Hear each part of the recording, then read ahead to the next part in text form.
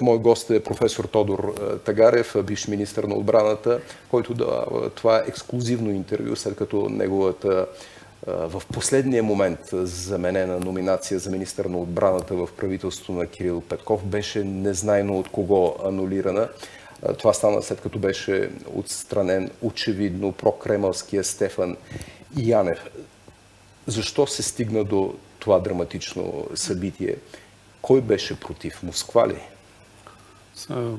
Моля да не коментираме този въпрос. Не за това приех, приех поканата ви, но може би за по-нататъчния разговор е важно да подчертая, че не вземам никаква държавна длъжност и не съм съветник на министър-председателя. Защото се и такива съобщения. Да, да. Важно е да го кажа. Не ангажирам никого с моите оценки и с моите прогнози. И нямате представа.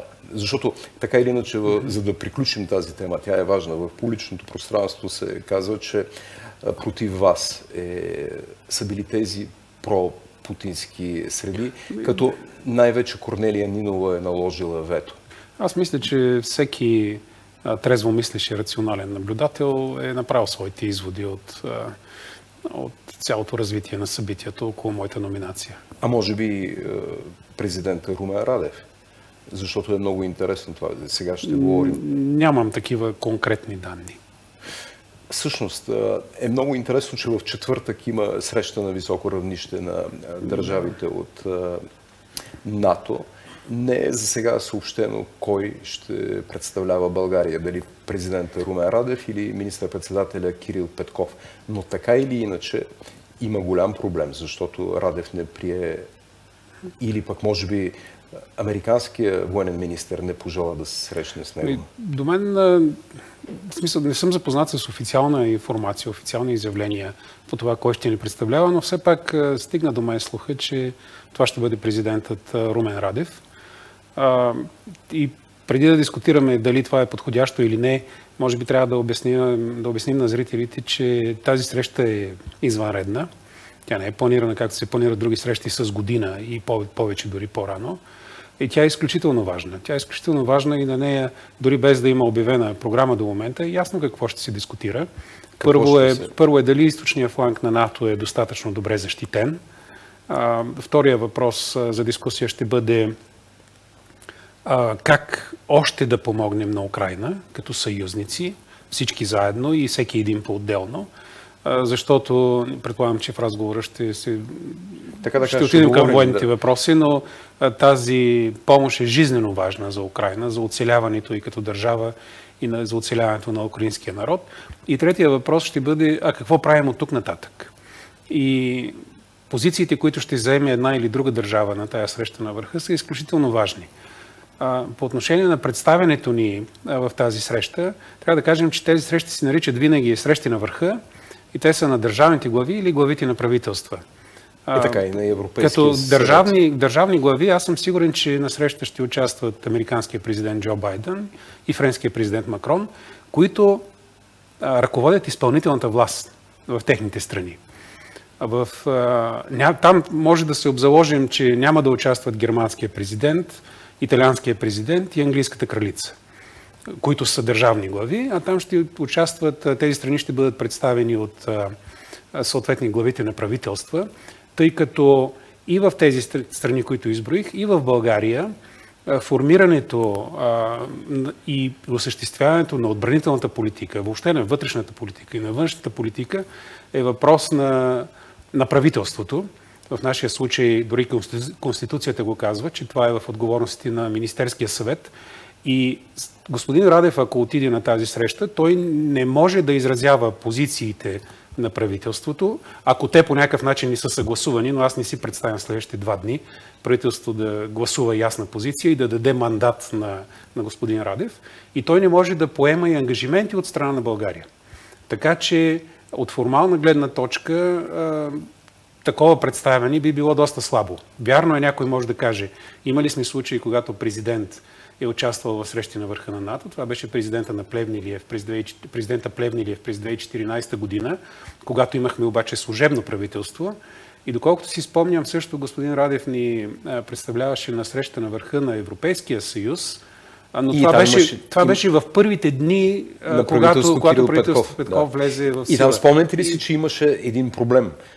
защото никой не може да каже какво точно е ставало между Радев и Петков и техните екипи, но имаше очак, участ, очакване за участие на Кирил Петков замина Радев и да. буквално на, на следващия ден да. Кирил Петков отида и имаше срещи да. в Брюксел. Нали, но, Това е важно на, да се на, на втория ден на, след влизане поемане на властта от едно правителство, до някъде може да го обясним, но не и три месеца по-късно. Просто по нашата конституция президента няма правомощия да поема ангажименти от страна на държавата. Професор Тегарев, обаче това е формалната точно, страна точно на въпроса. Така. Големия проблем е, ето, за това, че се казва, че българския, една голяма част от българския генералитет, идва в това студио е казвано, е пропутински. Президентът Румен Раде беше този, който каза, ще бъдем въвлечени в война, ако предоставим оръжие Аз, на, на, на България. Не обичам да, правя, да, да правя обобщения за въобще такива големи групи от хора, висшия команден състав или офицерския корпус, а, когато не разполагаме с такива данни, но е ясно вече каква е позицията на, на нашия президент в момента. А това продължава да бъде една позиция, която е разкрачена. Между, да, ние сме НАТО и ние ще гарантираме а, сигурността си чрез членството в този съюз. От друга страна, водим някакви самостоятелни, някаква самостоятелна политика, която не съответства на политиката на НАТО. Имам тук а... една иллюстрация, която се да. появи да кажем, в социалните мрежи. Тя, тя показва всички държави, които са и какво въоръжение предоставят на, на Украина. Не, предишната. Това е предишната иллюстрация. Тази. Да. Ето е. Точно така. Това е, това. Тази графика излезе в Financial Times преди 4 или 5 дни. А, вероятно ситуацията се е променила вече, но в нея са включени 27 или 28 страни членки на НАТО или на Европейския съюз, които предоставят най-различни видове помощ на, на Украина, включително и военна помощ. И така военна помощ се предоставя от страни, които десетилетия, от десетилетия декларират своя неутралитет от военна гледна точка. Там е Швеция, там е Финландия, там е Австрия, там е Ирландия. Те предоставят военна помощ на, на Украина. И тезата, че ние предоставяме военна помощ от наша страна, означава въвличането ни във война, е несъстоятелна. Тук само една бележка по черта, както напоследък казваме, бих направил, че и по същество, и по използваните думи и цели фрази дори, господин Янев и президента Радев говорят по един и същи начин. По, е, този, е по този въпрос. Е, то е ясно. Да, защото не, имаше тези, че между тях има някакъв сериозен разнобой. Явно по този въпрос няма разнобой. И а, формалният въпрос го изяснихме, кой ни представлява, но неформалният въпрос, че там ще отиде а, все пак държавен ръководител, който обаче взема позиция, която няма да ни позиционира добре и утре, и в годините, които предстоят. Това, което трябва да е ясно на зрителите и мисля, че на повечето вече е ясно, че този свят от 90-та година до 24 февруари замина в историята. Искаме или не искаме, това не е нашия избор, идва една желязна завеса. Къде точно ще минава тая желязна завеса? Дали на източната граница на Украина или под Непър или някъде другаде, не можем да прогнозираме в момента, но ние не можем да... Ние трябва много ясно да разберем къде искаме да бъдем. Моето виждане и вашето виждане и на много зрителите, предполагам, е, че ние искаме да бъдем част от демократичния свят, развиващ се економически, уважаващ човешките права а, и така нататък. И който а си някои хора италиански пухенки. Ами нали? всеки колкото да. пари си е изкарал, това ще си купува в този свят. А, а от другата страна е този евроазийски свят на авторитарно лидерство, на тотално незачитане на, на човешките права, на огромни равнища на корупция. Аз мисля, че българите не искат да бъдат част този... от този свят. Но ние трябва да си позиционираме. Ние не можем да кажем, да бе, от НАТО сме, обаче ще действаме в полза на Русия. Защото отказа да се помага на Украина в момента означава автоматично, че а, ние помагаме на Русия да постигне своите цели в Украина. Това означава, няма защо да се заблуждаваме. Тази карта, която искам сега да покажем е за разположението на натовските сили на източния фланг. И тя е важна, защото показва, ето е, показва колко са силите на НАТО в, точно в държавите, които контактуват най-близо с Русия. Източния, източния да. фланг, да. А тази карта е от официалния сайт на НАТО. Тя показва, че в България има разположени 900 американски военнослужащи. Тези данни към кой момент точно са, аз не мога да знам.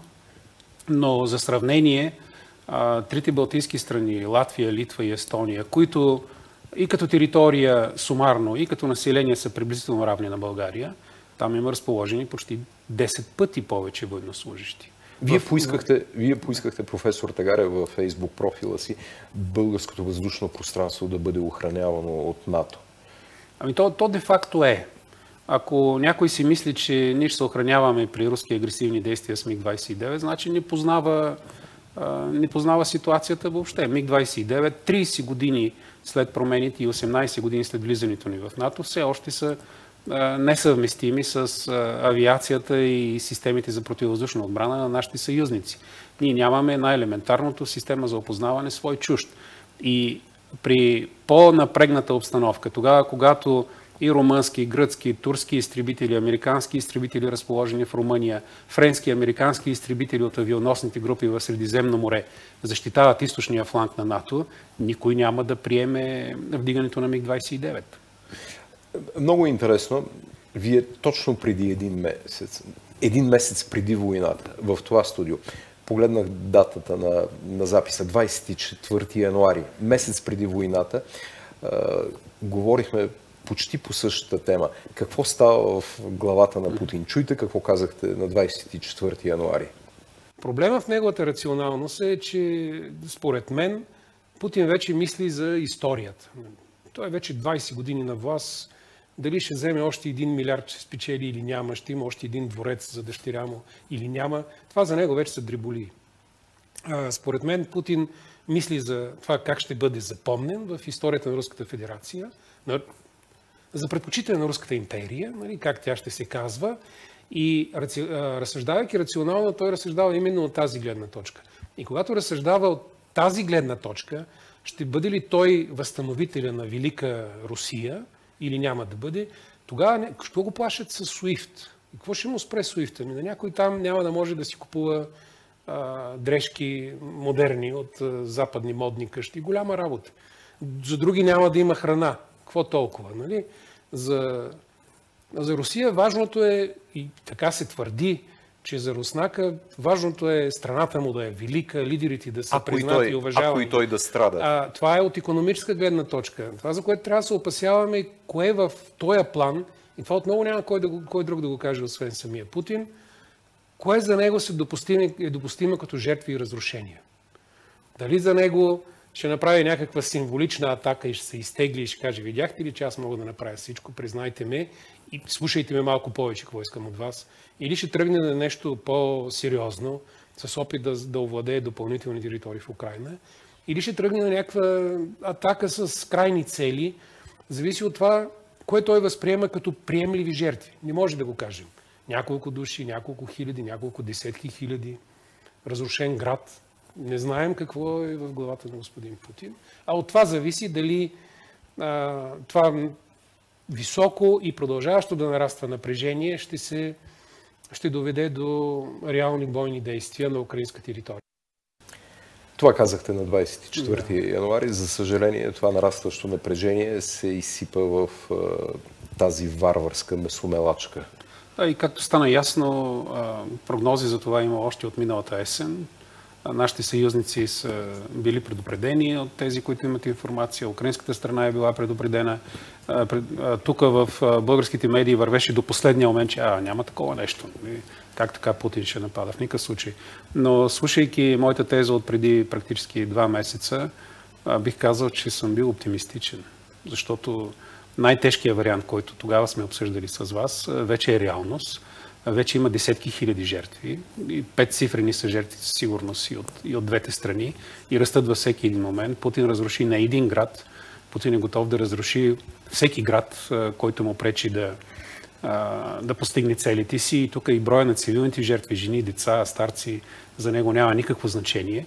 И това, от което всички ние трябва да се опасяваме, е от тази негова рационалност. Дали въобще той е рационален. Той още на втория или третия ден направи едно за мен очудващо неинформирано изказване. Той призова украинската армия да направи военен преврат и да свали Зеленски и да сложат оръжието и да си живеят като братя. Нали? Той, как си ги представя? Се едно, както той управлява всичко наред и в Украина има такъв, който управлява всичко наред и ако го премахне, това означава, че до този човек не достига достоверна информация дори.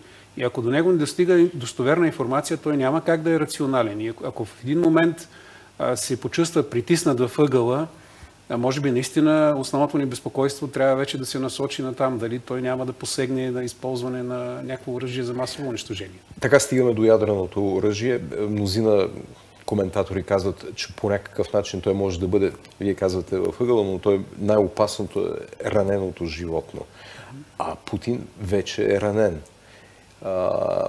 Кажете с две думи за тази стратегия, на която съществува в официалната така, база данни на, на Русия, че може да бъде използвано ядрено тактическо оръжие. Да не, да не обясняваме. Тактическото оръжие е най-малко, така, обяснено елементарно, това са малките не. ядрени заряди, докато стратегическите са освен с а, далечен обсек и с да, много по... Стратегическите са за а, действие срещу противника, основния му противник, т.е. Съединените щати и може би някои други ядрени страни, но още от началото на 80-те години имаше изследвания, модели, които показваха, че независимо кой нападне пръв, една такава стратегически раз, размяна на, на ядрени удари. Е краят на света. Е края на света, да. Просто Сега, гарантира унищожението на всеки един. Тъй като говорихме за тази хиперзвукова ракета, мнозина казват, че може Путин за да демонстрира сила и да това, че е готов да отиде до край, да изстреля такава тактическа ракета в един, да кажем, ненаселен район или в морето общо взето, за да няма, за да не се, за да не се взриви светът от възмущение срещу него. Вие такъв вариант... А, аз, аз не го свързвам непременно с кинжала, с тези нови хиперзвукови. Първо, не, не, това, това е някакво, за тактическо някакво ядрено оръжие. Да, някакво междинно поколение. Те, когато говори, се говори в експерт точно за хиперзвукови, се говори за 10 махи нагоре скорости. Тази, тази ракета е с по-голяма скорост от на сегашните балистични ракети, но не, не особено по-голяма скорост. А, въпросът за ядреното оръжие, наистина експертите вече трябва да четат с запитайките в всякакви видове руски документи и да се опитват да разберат и между запитайките и между, между редовете какво пише, но вече има информация, вадена документи на военноморските сили, примерно, която показва, че да, те допуска руската армия използване на такова тактическо ядрено оръжие с сравнително по-малка мощност, при което може да се избегне вероятността от конфликт, световен конфликт. Но дори това трябва да ни притеснява. Самия Путин, между прочим, той още на, първите, първите дни на войната спомена нещо от типа на, че ще има възмездие, нали? ще използва такива средства, с които да постигне възмездие и това наистина е, е притеснително. Трябва да следим всеки един момент. Това обяснява а, за мен и в много голяма степен желанието на, на Зеленски и неговия екип да отиват на преговори и дори може би готовност да приемат някои отстъпки в тези преговори, тъй като все пак това са мислещи хора, чувстват отговорност за своя народ. Те ни биха искали да понесат огромни, огромни жертви.